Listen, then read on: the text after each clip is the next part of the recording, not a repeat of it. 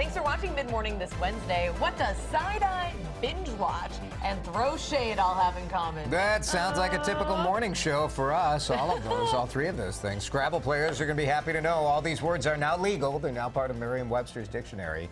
Dictionary added more than 1,000 new words, which I love because the English language is always changing, Yes. always evolving. It's one of the beautiful things about language that as mm-hmm. time goes on, we invent these new words that reflect modern culture. So throwing shade, I think I learned, I'm a little surprised it took that long. I think I was introduced to that term about four years ago. Yeah, that's a little bit old. It's like a Real Housewives uh, term, You right? have to see if it sticks Exactly. around, though. Like I- sometimes that's these words true, come yeah. up, and then they kind of, yeah, they're very, very short-lived. so the way they look at it is uh, frequency of use, widespread use. So that goes to what Mm-hmm. You're talking about, and meaningful use. So Oh. it's got to be. I mean, there's nothing more meaningful than throwing shade. I'll tell you what. Especially if you're on the receiving end of it. Throwing shade is like a little insult, right? It's Yeah. like you're kind of dissing someone, if you will. Yes. Uh, some of the words. First word. Pro- first world problem.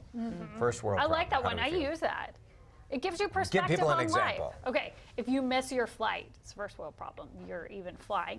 Uh, your internet speed is slow. That's a first So this world has problem. replaced people saying, well, there are starving children in Africa. This is Exactly. essentially what this is kind of taken care of. It gives you perspective. I like it. It gives Yeah. me a little check every now and then. I mean, hey, we that's live not in, a real problem. We live in the first world, though. All of our problems are first world problems.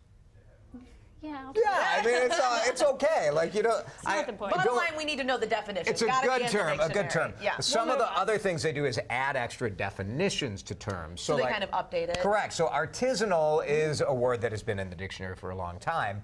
But now they've added artisanal to include food definitions. If you've looked at labels of bread or cheese, or- Artisanal. everything is artisanal. Does it say, um, It's kind of like farm to table. Yeah. Yes, artisanal is like it kind of evokes this handcrafted, small producer. Did Is that a put for- DeRusha Eats word?